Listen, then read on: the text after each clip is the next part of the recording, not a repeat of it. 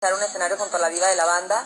En un momentito más estará con nosotros y les diré de qué se trata. Pero antes, estamos enlazados telefónicamente con alguien que mencionaba yo hace un momento que era parte importantísima en la carrera de Jenny, pero no solamente en la carrera, en la vida, en esta vida de aviones, de carreteras, de ires y venires. Espinosa Paz. Espinosa, ¿estás ahí? Buenas noches, ¿cómo están?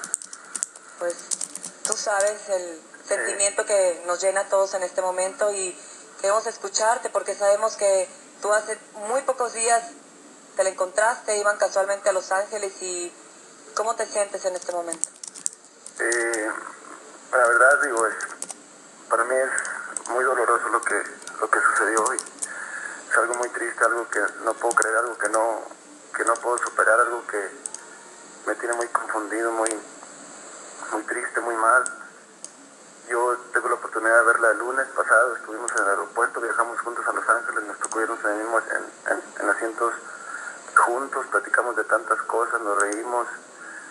Eh, no, no, yo no lo puedo creer, se me hace imposible, se me hace triste, se me hace doloroso. Yo creo que es una sorpresa para, para todos este, ser lo que está viviendo su familia, porque yo hace mucho tiempo perdí a mi mamá y sé lo que se siente perder a un ser tan querido y pues bueno, lo único que puedo decir es que resignación para todos ellos y para todos sus fans, para toda la gente que, que la seguía, no solamente como artista, sino que